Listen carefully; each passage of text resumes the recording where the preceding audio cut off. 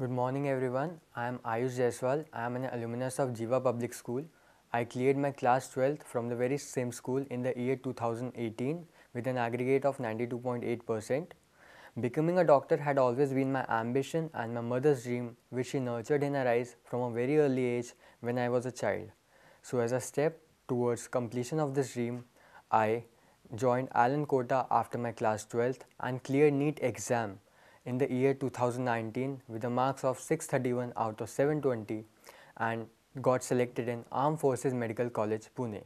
This journey of hard work and uh, success till becoming a medical cadet at Armed Forces Medical College, Pune had been full of hardships, competition and stress.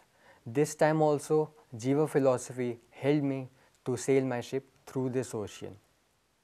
SOE Swadhyay and DKN had always been of paramount importance in my life because through these I realized my self potential and achieved the ladder of success till this journey. SOE helped me to learn from the nature. Nature is the best teacher. So SOE, self, others and environment helped me to learn from the nature and others which helped me to improve my capabilities in a positive direction. Swadhyay helped me to improve my concentration and also focus on my weak points. Dincharya ke niyam DKN helped me to manage my time and plan accordingly because for a student revision and time management is a key importance for success whether he has to clear any board exams or any competition exam.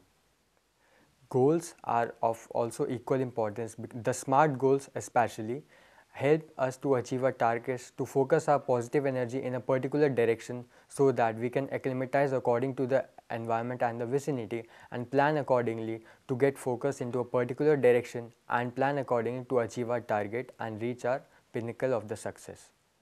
This school provided me with knowledge and education with the wisdom to use my knowledge. So I pray God to use both knowledge and wisdom in a positive direction to serve my nation, to serve my country and to serve those who serve us. Thank you.